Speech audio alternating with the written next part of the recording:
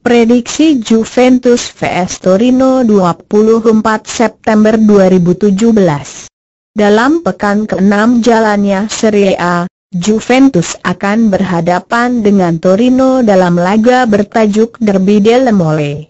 Pada pertandingan sebelumnya, Juventus menang tipis 1-0 atas Fiorentina, akan tetapi mereka harus menelan pil pahit atas Barcelona dengan takluk 3-0 dalam ajang Liga Champions. Bagaimanapun, Torino juga raih hasil maksimal pada laga sebelumnya ketika mereka menghadapi Udinese, di mana mereka menang dengan skor akhir 2-3.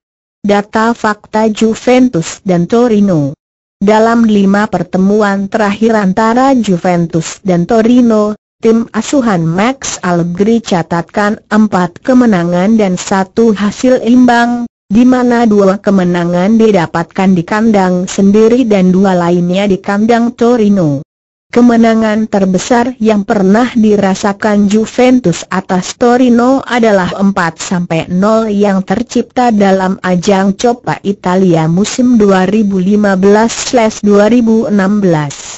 Menjadi catatan jika kedua tim sudah pernah bertemu sebanyak 27 kali, di mana 14 laga dimainkan di Juventus Stadium dan 13 pertandingan diselenggarakan di kandang Torino. Dari catatan tersebut, Juve telah menang sebanyak 18 kali dan ditahan imbang sebanyak 6 kali, sedangkan Torino baru mencetak 3 kemenangan saja. Selama pertemuan tersebut, The Old Lady telah koleksi 55 gol, 31 gol di kandang dan 24 gol tandang. Sementara itu, Torino baru menjebol gawang Seng juara bertahan Serie A sebanyak 23 kali, dengan rincian 11 gol kandang dan 12 gol tandang. Dalam enam pertandingan terakhir yang dijalani oleh Juventus, Tim yang dikomandoi oleh Allegri catatkan empat kemenangan dan satu kekalahan atas Barcelona dalam ajang Liga Champions. Dari tim tamu, Torino torahkan tiga kemenangan dan dua hasil seri atas Sampdoria dan Bologna.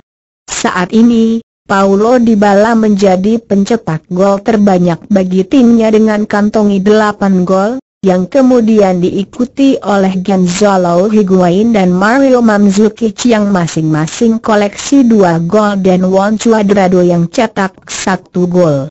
Belum mengantongi gol satu pun, Miralem Janik malah mengantongi tiga assist yang membawanya berada di puncak pemberi umpan terbanyak dalam tim, kemudian ada Mandzukic yang berikan dua umpan, sedangkan Bernardes Cuadrado dan Higuain sumbangkan masing-masing satu umpan. Sementara itu, Andre Belotti dan Adam Lejajic menjadi top scorer sementara Torino dengan koleksi dua gol, lalu disusul oleh Baseli, Obi dan Iago Falcue yang koleksi satu masing-masing satu gol.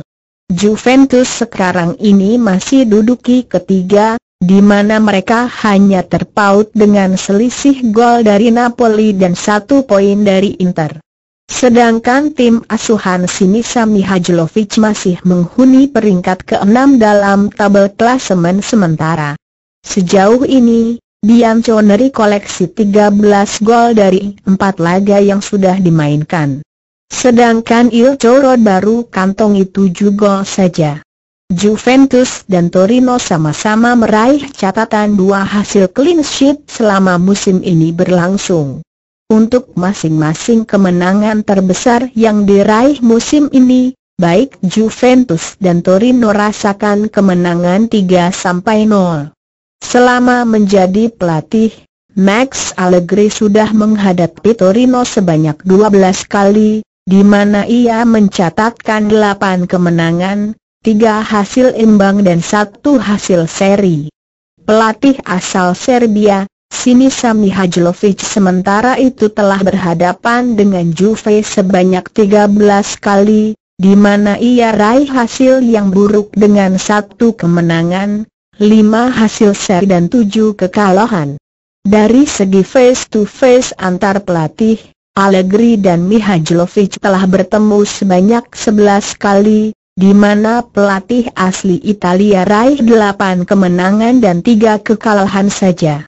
Beberapa pemain yang mungkin tidak tampil dalam pertandingan yang bertajuk Derby delle Mole adalah Mattia Desciglio, Marco Jaca dan Claudio Marchisio dari sisi Juve. Sedangkan dari sisi Torino ada Joel Robi yang dikabarkan sedang alami cedera otot.